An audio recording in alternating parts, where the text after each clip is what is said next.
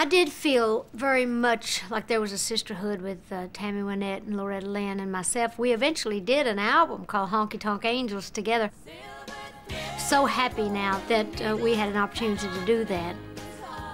There was not that kind of jealousy. We were all different in our way. We were very similar in our backgrounds, being country girls brought up poor, but we were completely different to be so much the same, so to speak. Loretta's music was extremely country. Tammy's, uh, she had really great production, things that really were able to cross over, very similar to what Patsy Cline was doing. Mine was somewhere in between. I don't know. Mine's just always kind of been dolly music. Some somehow it had a bit of bit of country, a bit of mountain, a bit of you know the bluegrass, and I still don't know what you'd call my music. Just Dolly's music, I guess.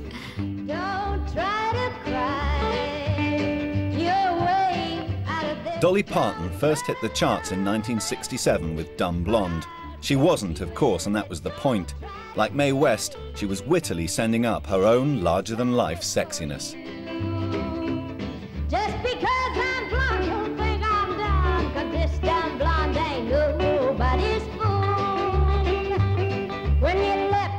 She understands the image she's chosen to project.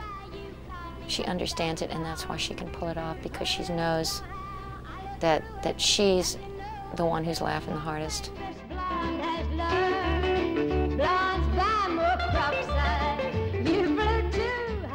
I was never intimidated by anybody. I felt like I could just stand right up there with the best of them. Just takes a few minutes for them to see that I'm serious about what I'm doing.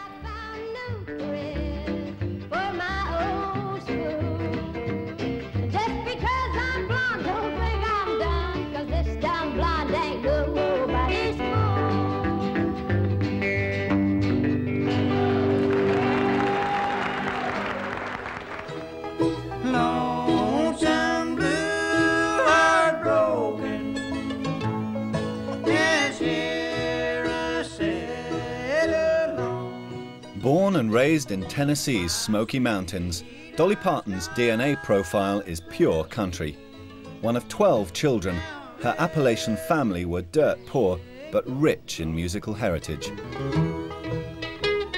There wasn't so much music on the radio in my very early days. I was more influenced by my family, my uncles and aunts, and those old songs that were brought from England, Ireland, and, and Scotland in the old days brought to the Appalachian Mountains, and it's just our, it's just embedded in us.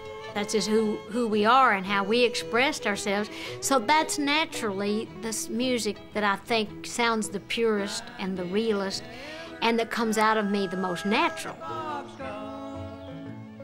The success of Dolly Parton's authentic country music went against the prevailing trend towards a more pop-friendly sound. But biographical songs like Coat of Many Colors offered a mix of emotional depth and insight which proved irresistible. Back through the years I go wandering once again. When I started to write Coat of Many Colors, I was traveling on Porter Wagoner's show. And I recall a box of eggs that someone gave us. And I don't even really know what made me start writing it. I was just sitting on the bus and the song just started coming out. I recall a box of rags, it just started rolling out, and I was like, wow, this is good. the rags together, so in every piece with love, she made my coat of many colors that I was so proud of. And I didn't have any paper, and I was singing the song, and Porter said, Are you just writing that now? And so he had some stage costumes that he had just picked up from the cleaners, and he just jerked the tags off, and I wrote the of Many Colors on the back of his cleaning tags. So with patches on my breeches, holes in both my shoes, in my coat of many colors, I hurried off to school just to find the others laughing and making fun of me and my coat of many colors that Mama made for me. Oh, I couldn't understand that, cause I thought was rich. And then I told him of the love my mama sewed in every stitch. And then I told him all the story that mama told me while she sewed and why my coat of many colors was worth more than all their clothes.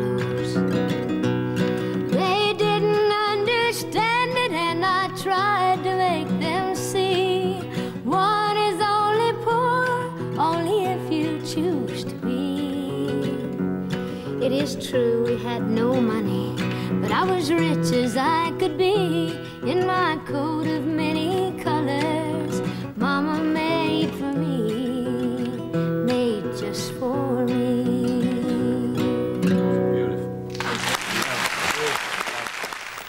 The classic country stars, the, the original stars of country music, were people who grew up in circumstances where that was what was in their house. They crawled out of the cradle singing this music. It was what was around. That was what Dolly and Loretta and Tammy and these people, that's who they were. It wasn't just what they sang, it's who they were.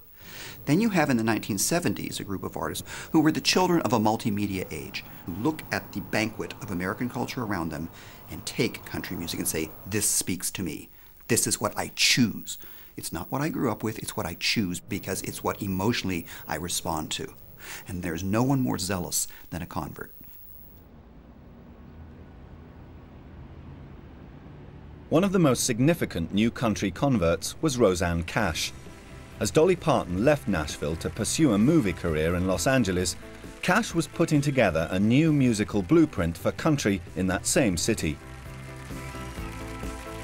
It was a style shaped by rock music, with confessional lyrics which went deeper than had ever been heard before.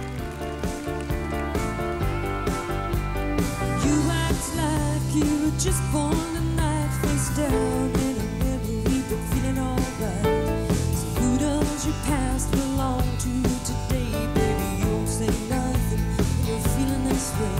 I'm not afraid to say anything in a song. I don't like to say it's therapy because that diminishes it. Then it's just about compulsive confession. And that is not art to me. There has to be a sense of discipline and a talent to make it musical.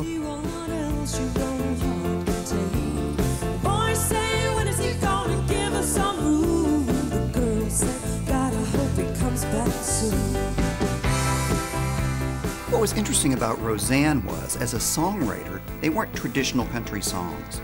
They were they didn't tell direct stories, they evoked stories. And that was an entirely new thing in country music. Prior to that, the, the, country song had a very rigid structure as far as what lyrically it did and where it went musically. And Rosanne kind of, in her wacky kind of poetic way, kind of threw that all out the window and, and went into a different space, a different songwriting space that had been gone to before.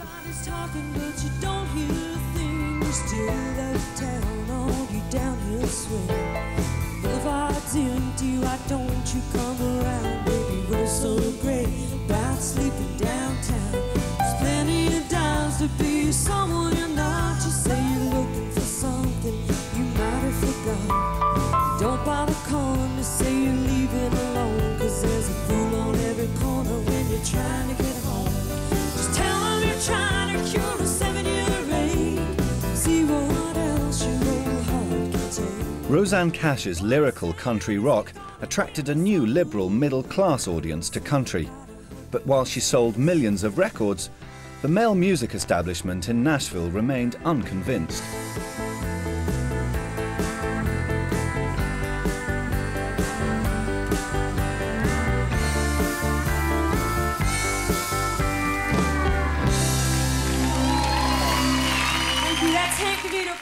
Had 11 number one records, and I enjoyed every one of them, but I never won a country music award. And, you know, there were certain arenas that I was excluded from.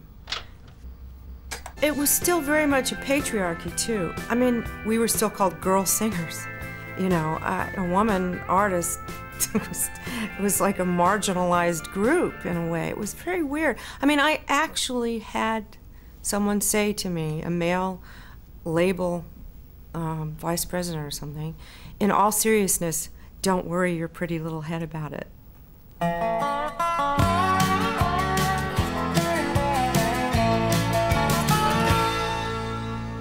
Remarkably, Nashville's stereotyping of female artists continued into the 80s.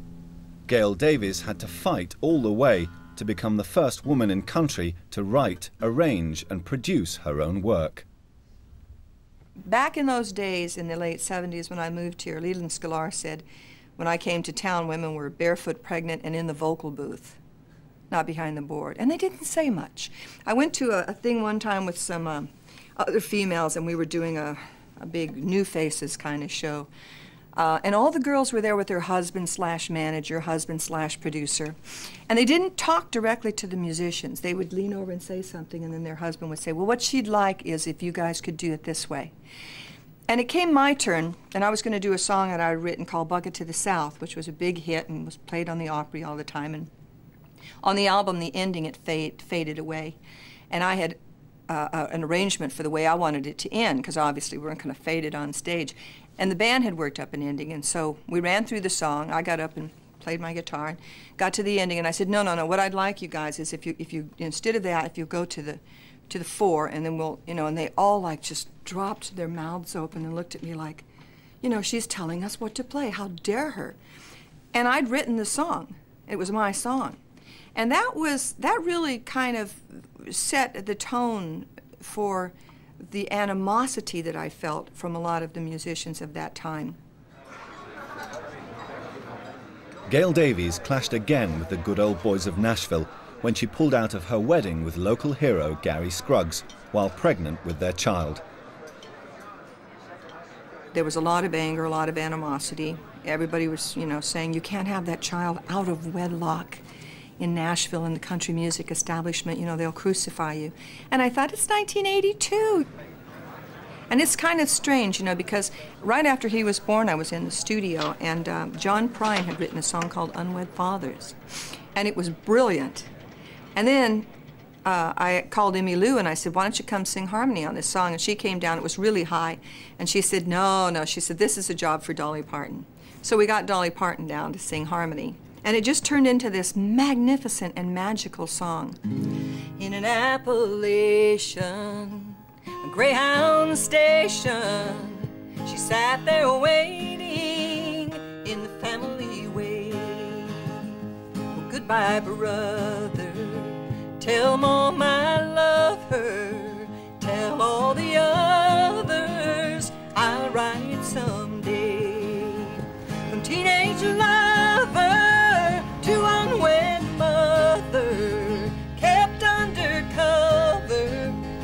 Some bad dream.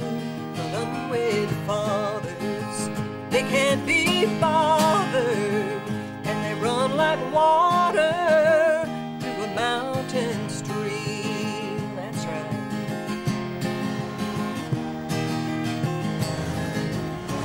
On a somewhere else bound nighttime greyhound, she holds her head down singing lullabies. She's scared and crazy. She holds her baby. Says, I think maybe you got your daddy's eyes.